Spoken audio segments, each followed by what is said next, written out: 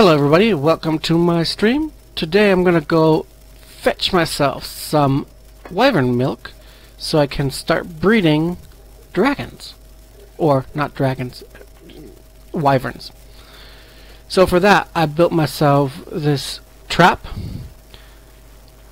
I have a wind turbine here to produce power and one over there.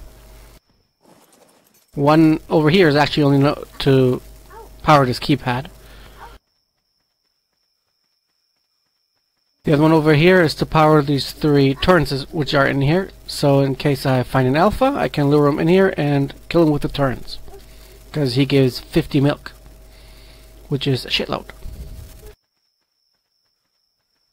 So basically I'm out of range of the normal elemental attacks of any wyvern over here. With this keypad I can open and close my Behemoth gate.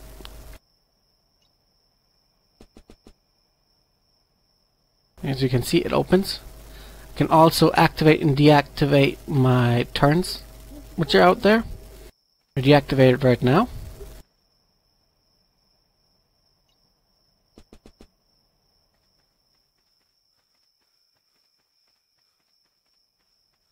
As you can see, they're on now.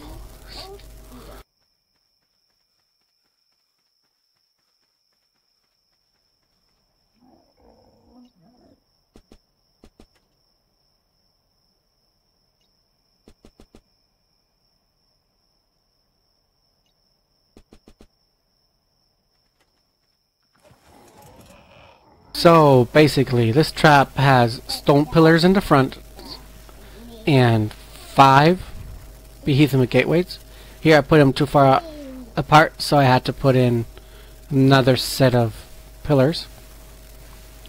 And only one of the five gates gets a gate in it, a door.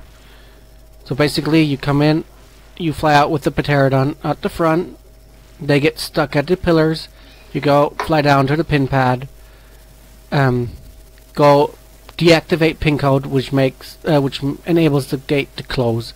It's trapped inside. You turn around and you start shooting at it with tranq arrows until it's knocked out. You go over there, take the milk out, and chop his head off. I use the sword because I think it's a waste of ammo trying to do it with the auto turns. For alphas, it's a little bit different. You actually have to kill the alphas to get the milk. So that's the basics. Let's go look for a wyvern.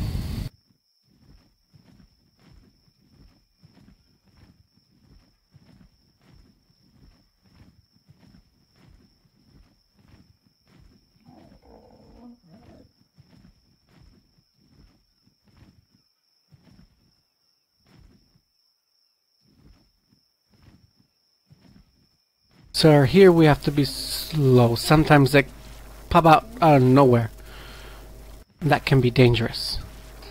We have to be sure that it's a female because that's the only ones who give milk, obviously. Oh, there's an alpha. I'll come back to kill that later.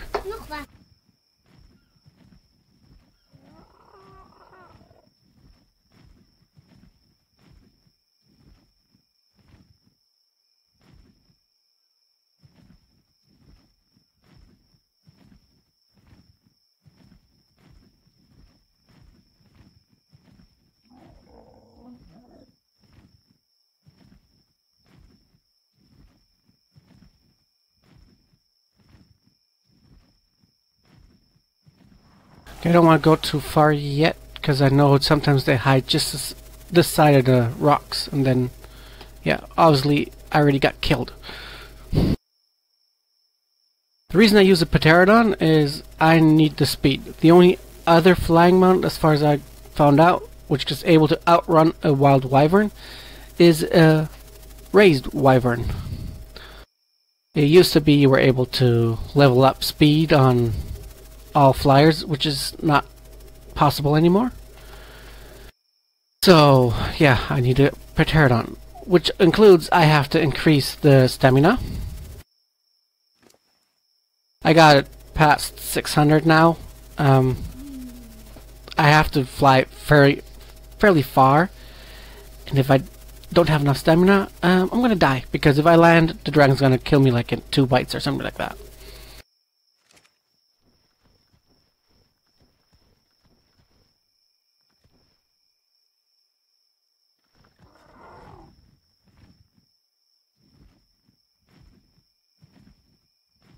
So what I basically do is I fly close enough so I can use the scope to see, or not scope, spyglass, that's what it's called. If it's a male or female. Then I find a spot where I can land and actually shoot at them with the flint.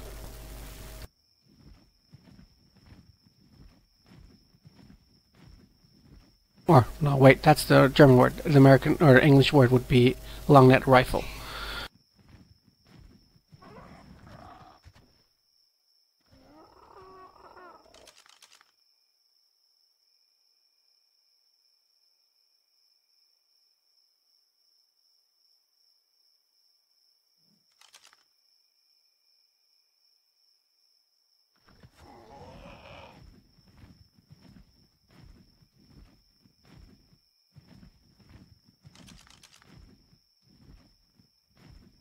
That's a male. We don't want that.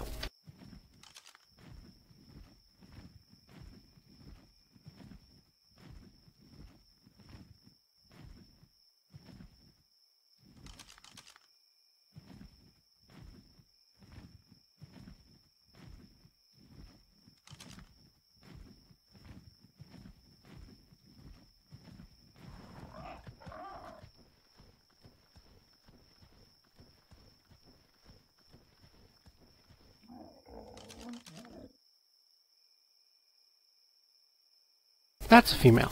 That one we want. Now we just have to just watch it. If it's too close to other wyverns, it'll also pull them, which results in having more than one.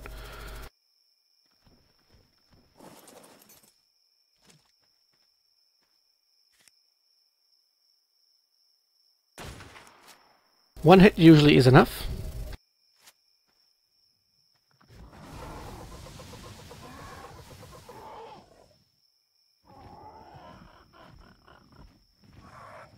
You can see, that was a lightning one. You don't want to get too close to them. Oh, there's one to my left hand up there, which is dangerous.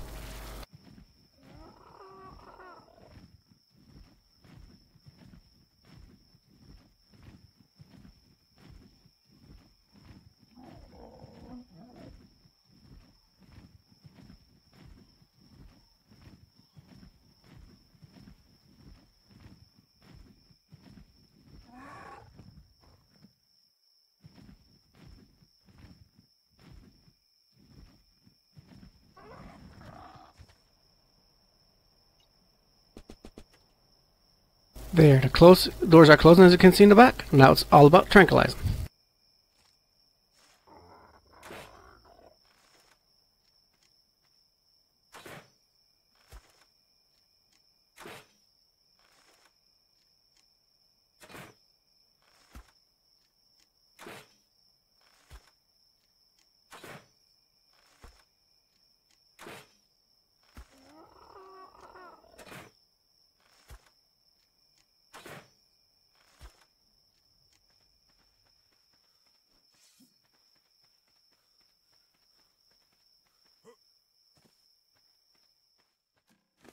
Dragon's down. As you can see, inventory, it has 5 milk in it now.